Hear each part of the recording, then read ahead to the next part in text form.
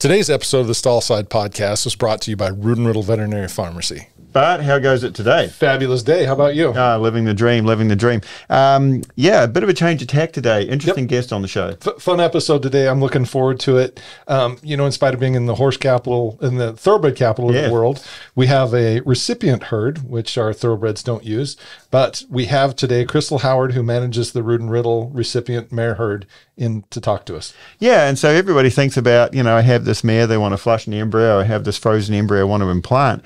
But I think few people have an insight into exactly how much work goes into creating a herd of excellent recipients and having a uterus available at the right state at the right time to put that embryo into. Yeah, these guys put a lot of work into it, and I'm, I'm pretty sure that Crystal will bring light to some of that. Yeah, absolutely. Yep, it's quite a um, it's quite a ballet of health management and mare selection and timing. Yep. So on Stallside this week, we talked to Crystal Howard about the and Riddle recipient herd for the reproductive centre.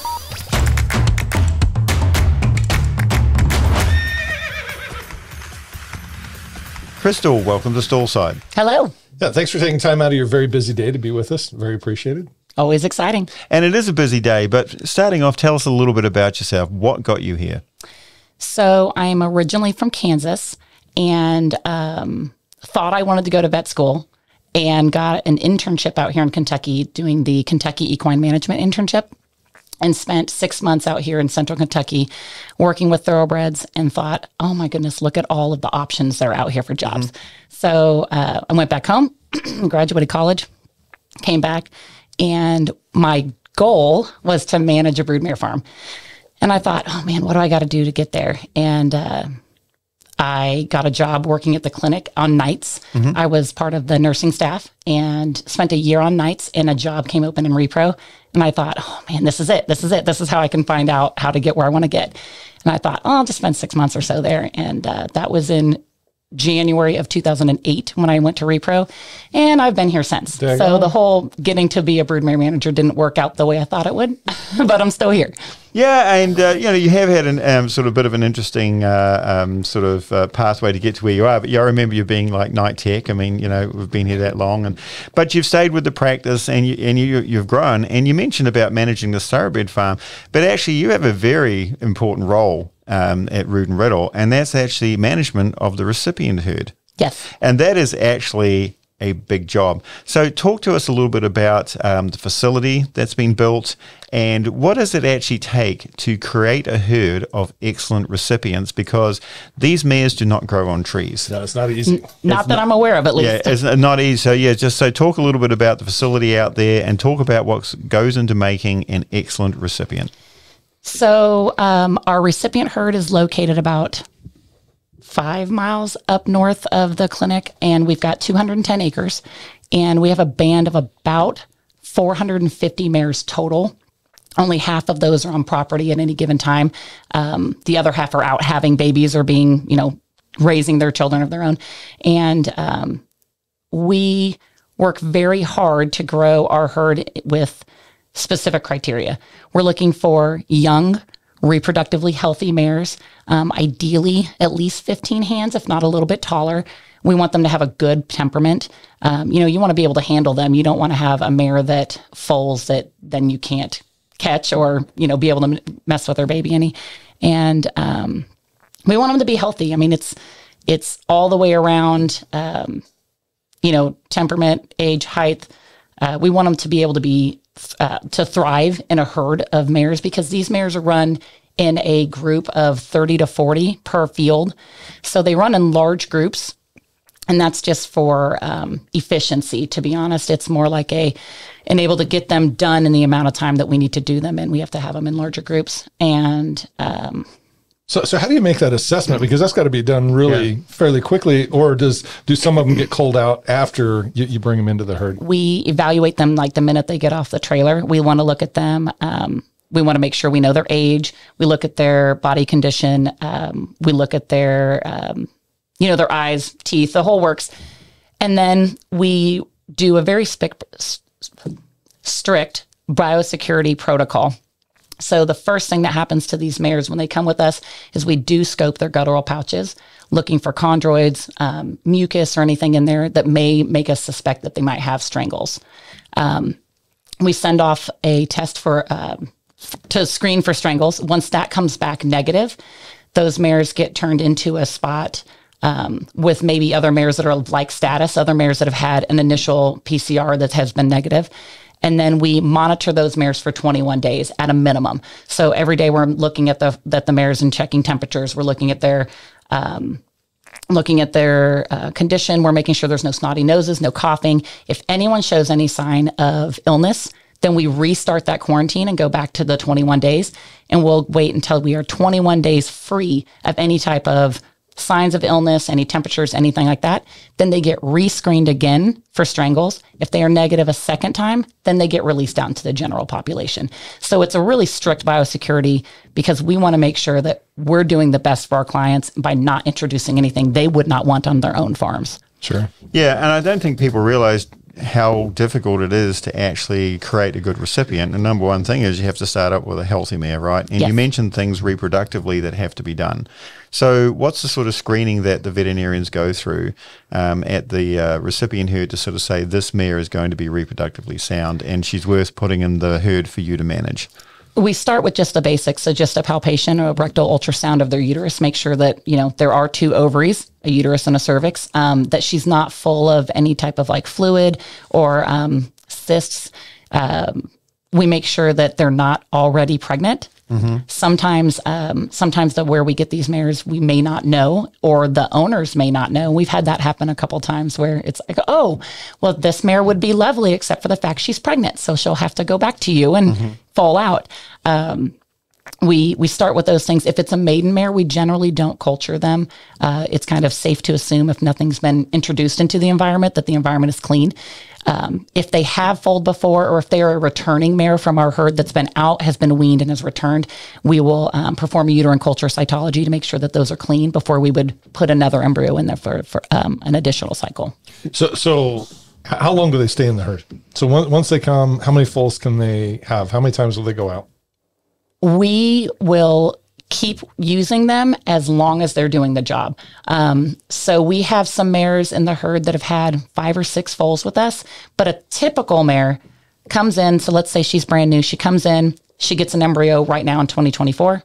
She would go out and foal in 2025, and then she would return at the end of 25 and then be ready again for the 26 year. So it's kind of every other year, but depending on when they return into the herd, sometimes they come back and they make it through their quarantine in enough time that they can get another embryo that same year. So they may go out this year, foal in February, return in uh, return in June or July, and we may still have donor mares that are being flushed that she could get another embryo and go right back out again. And we like that. We love our ladies to be useful.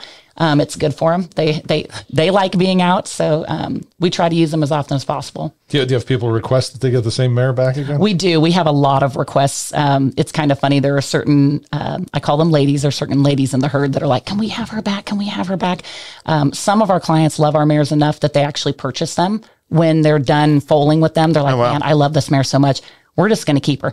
Sometimes they keep her as a recipient mare. Sometimes they keep them as lawn ornaments. Sometimes they keep them because they want to ride them. Um, I love that. I love the fact that people love our recipient mares enough that they want to keep them. It's also a little bit of a detriment to us because it's really hard to find those kind of mares that you know will get pregnant that do such a wonderful job that people love. You know, we want to keep those, but I also understand the client's desire to keep them. Yeah. yeah, no, that's a testament that you're doing a good job when Yeah. people want to keep the marriage. Yeah. Yeah, I know, but as you say, it makes it difficult because we started off the talk by saying how difficult it was to create these mares. It's very difficult to find these mares. Um, it's it's a, c- a very select criteria, and we're so selective about it that it's not just any mare that passes muster. You know, I. I, I understand that a, a 14 year old mare can probably still carry a foal to term with absolutely no problem, but it does give you a little bit concern if she hasn't carried a foal consistently. She's new to the herd. We don't know her temperament. You know, those kind of things are hard when you're managing a large number. Uh, again, if she's 14 and I'm introducing her into the herd, she's new to this group of mares. Where is she going to fall in the pecking order? Is she going to be a top mare where she doesn't have a problem maintaining weight, or is she going to be towards the bottom and we have to kind of baby her along? You know, those things are hard to manage on a large scale. Mm-hmm. Yeah. What's the oldest mare you've foaled out in your practice? 26. Yeah. Cool. Yeah. Yeah. Yeah. Yeah. Yeah, I had one when I was you. Uh, this mare, she had a foal at 21. It was this guy's last race mare, so he bred her again, and um, she was 28 and pregnant in the clinic, and everybody was all panicked about it. She lay down, she popped that foal out in about 10 minutes, stood up, and they all went home the next day. So some of them just can do the job, Yes. and some of them seem to have problems. So you've got this mare, she's come in, she's gone through the quarantine period, Mm-hmm. she's been cleared, she's gone into the herd. What management has to be done on these horses once they actually enter the herd generally? So, depending on the time of year, um, you know, we do, if let's say that she came into the herd, um, let's say she came in in the late in the fall, we don't really have a lot of embryos to transfer. So, she's kind of maintaining her time until we cycle back around to the spring. So, these mares get put under lights right after Thanksgiving, and they, um, they're put under lights for about, I think it's about six hours. I think the lights go on at about five and they turn off at 11. So, we um, try to manipulate them back into season quicker at about mid January, we start checking the herd, trying to see who is starting to cycle again. Then we, um, if they are cycling, we follow them through a cycle and then kind of roll on and keep checking them as needed. If they're not, they get checked weekly until they are start cyc- until they do start cycling, and then we follow them through their cycles as they go. At our herd, um, we have about 150, I think it's 150 under lights. So we have a lot of mares that are hopefully will be cycling earlier in the season for these clients that need recipients in February, March. So, we, so what does that look like? 150 mares under lights. How do you accomplish that? for us to put these mares under lights, we have large catch pens where we will feed the mares. They come in at night, um, they get fed, and then there's um, kind of like stadium poles with a large section of lights on them on at each corner. So no matter where these mares are at in this catch pen, they're they're under lights, and um, it's bright enough that truly you can see it from the interstate where we're at. So mm-hmm. sometimes if you're driving by, you're thinking, "What company is there?" But it's it's us, and you know they just need to be able to be under lights bright enough to be able to read a newspaper. Mm-hmm. So it doesn't have to be crazy bright. It just needs to be bright enough, and that's how we get those mares under lights. So the lights are on a timer. They come in at a certain time. They get fed. They hang out there until about eleven o'clock at night. Then they go back out.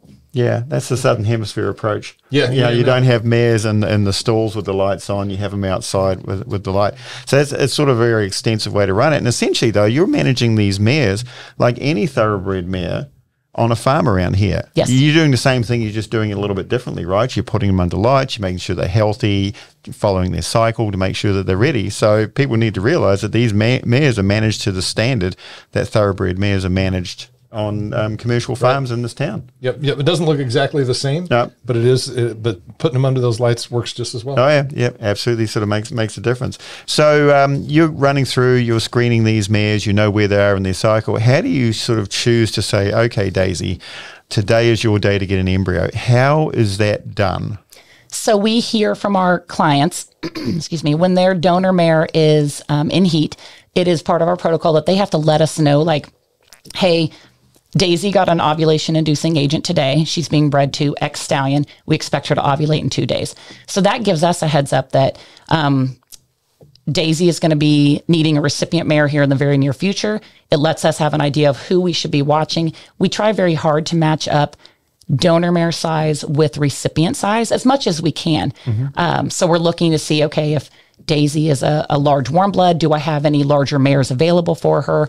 Um, then they they're supposed to call us when they breed the mare. Sometimes they don't, and that's okay. We kind of have an idea. If you've given an ovulation inducing agent, you're usually breeding the mare the next day. But they're supposed to call us or text us when they ovulate. Once they've ovulated, we will give our recipient mare an ovulation ovulation inducing agent at that point because you can use a recipient mare the same day as the donor has ovulated up to three days after the donor mare has ovulated. So there's a good window there where you can kind of pick and choose like, okay, this mare is ovulated two days after the donor mare. She'd be really great for this recip- for this donor. Or, well, this mare only ovulated one day, but she's the right size. You know, things like that kind of a, you can manipulate a little bit, but it's really knowing the timing of when they're breeding their mare because it's very important for that to be synchronized as closely as possible. It also depends on whether they're doing a day eight flush or a day seven flush on which uterus we pick. It's a lot of um, manipulating our uteruses to be used at the appropriate time. We really want to use the best uterus on the day of the embryo flush. So it might be that Daisy's a big warm blood mare, but I have a medium sized quarter horse mare, but she's the best uterus that day. That's the uterus we're going to pick. We want to give your embryo the absolute best chance it can to make it. Yeah. So that really emphasizes for anybody listening if you're going down this path, communicate. Absolutely. Make sure that you are available when this is happening because you're spending a whole lot of money to generate this embryo. Yeah. You want to make sure that you give you guys the opportunity to have, as I say, that best possible uterus scenario for that embryo to go into. So, okay, we're talking about the uterus, we're talking about the mare. Yeah, maternal behavior, right? We touched on that before. Any particular breeds that um, uh, are better at um, that, or is it does, is it an individual thing? Our herd consists of almost any breed you could think of. We've got quarter horses, paints, standardbreds, uh, Tennessee walking horses, warm bloods, saddlebreds. I'm, I feel like I'm a thoroughbreds. I'm, I feel like I'm missing things, but we have a little bit of everything. Myself, I'm a little picky. I love a walking horse mare. They're just so calm and so reliable and just steady, steady, steady. But um, it really has not shown to matter what breed they are. I mean, it's kind of like people as well. You're either a good mom or you're not. And um, the mares, the mares that are newer, sometimes will be a little more hesitant, just like any other situation. Like, what's happened here? Is this my baby? What do I do with it? But for the most part, there ha- really hasn't been a breed distinction that's like, oh, these are the best moms out there. It's it's really, it's really been fine. Yeah, yeah, because sometimes people have preferences. Like Yeah. some people, you know, um, they don't want some of the heavier breeds because you know they think, well, they're a little bit tough on my fences or something. But That's probably true. Yeah. That's probably true. The larger mares, but that you can't really help that. That that doesn't have a lot to do with what they are as oh a yeah, mom. yeah, yeah, yeah, absolutely, yeah. And that's face. That was the best uterus uh, available on that day. The And they're a embryo, little harder on stalls too. Just the yeah, amount of straw and that's true too. But they, if you could figure out how to put an equine embryo in a Jersey cow, that would be ideal. pity. That's a pity laugh. Like, Yeah, I was going to say, but yeah, yeah, that was a good try. But um, yeah, okay. So, um, what's the future? Do you feel for um, reproductive management when it comes to embryo transfer? We have seen a large uptick in oocyte aspiration or ovum pickup and freezing embryos and then transferring them at the appropriate time. And that has put a real big strain on recipient herds. Um, this year, the number of frozen embryos that want to get transferred is significantly higher than we have seen in the past. And I see that to continue. Like I see that maintaining that trend. And I think that's because you can kind of manipulate things a little bit more in your favor. So if you've frozen a bunch of embryos and you want to have March babies, you know all I have to do is have some recipients set up in April mm-hmm. and transfer away instead of waiting for your mare to cycle and make sure that she looks good and do all of these things. So I see that continuing on, but I also can see that continuing to be a strain on recipient herds as like our program filled up in December of this year. It was filled to the max. And we saw similar things the year before, but before that, it really wasn't. You know, we kind of still had some availability in like February, March.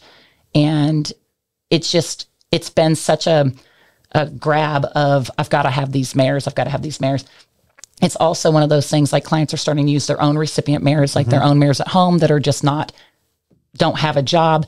Um, and that's also a good deal. Like it's, it's nice for them to be able to have a job and do things, but it's also not something that just, oh, I've got 18 year old Sally out here and she hasn't carried a foal for a couple years. I can throw something in her. It's, mm-hmm. it's, it's a little more intensive than that. And it's, it's really, it's really boomed. I mean, it's just really blown up really large in the last couple of years. I just, I see it.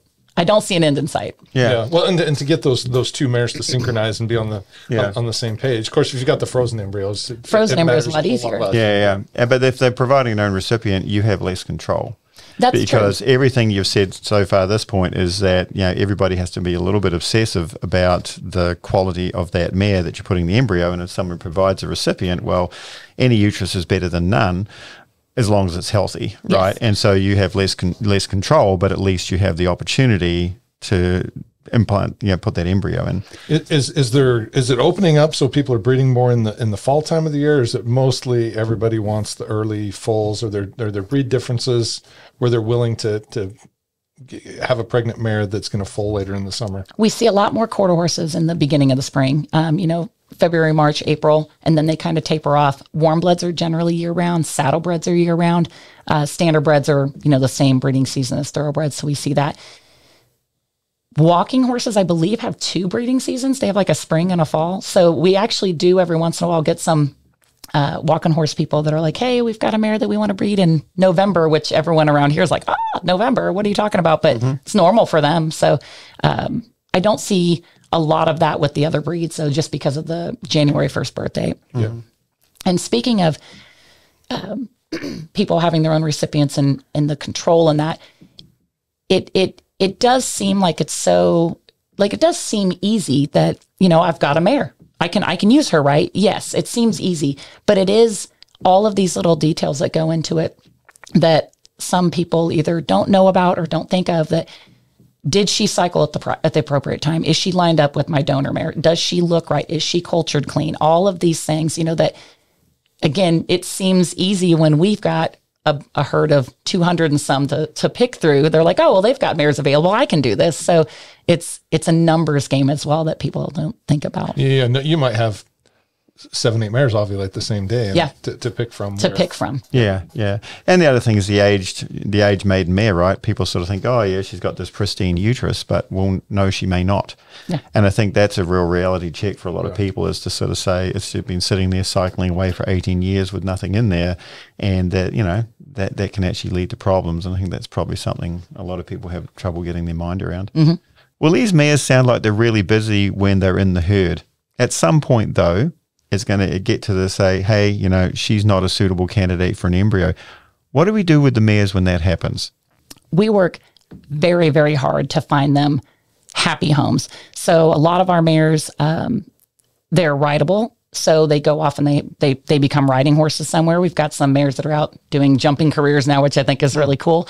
We have um, we have mares that we turn into ovariectomized tease mares. Like if we love them, and I will selfishly say that I love a lot of the mares, but if I really, really love them and I want to keep them, we will ovariectomize them and make them tease mares. So they um, they do a job year round, and um, I kind of keep the best ones for myself. Don't let everybody know that. Yeah. We um we but we we do. Sometimes employees are like, I love this one so much. Is there any way I can take her home? For the right home, absolutely. We work very hard for them to find jobs after this. So continuing their careers in another path. Yeah, and I think that's really important for people to know that you know they're not disposable. No. and um, you know this is a partnership through this horse's life. It says, hey, I will grow these embryos up into foals, and you find me a home at the end of it. And I think that's important that people realise that um, again, there's there's a commitment to the whole life cycle of this horse. Absolutely. Now, there, there are two horses in the middle of Iowa, one named Bart and one named Pete, that are plasma donors. I don't know. Maybe maybe there could be, i- if you have a handsome teaser out there that you can name Bart or something. And Pete, Pete could go either way. He- That's true. That's true. Yeah, Bart's a gelding though. Oh, Yeah, yeah. Sorry, Bart. I hope not. 'cause Yeah. there's, there's five kids running around. Yeah, well, well. Call me dad. Yeah, call your dad. So that's great, Crystal. Thank you for your time. That's been a fascinating walk through the recipient herd. thank you so much. Yeah, it's a, it's a neat it's a neat place and it's it's a lot of work and thank you for everything that you do keeping everything everybody all the horses organized and it, it's really important that to, to us that they're very well taken care of and that's part Yes. of why we have the herd is is to control that and um, you're you're a huge part of that thank you Thank you. Yeah, when they go out, they got our brand on it, and as Bart says, that you're integral in making sure they're the best possible that they can be. We do our best. So that was stall side for this week. We've been talking to Crystal Howard, who manages the recipient herd at the Rood and Riddle Equine Reproduction Facility. See you next time.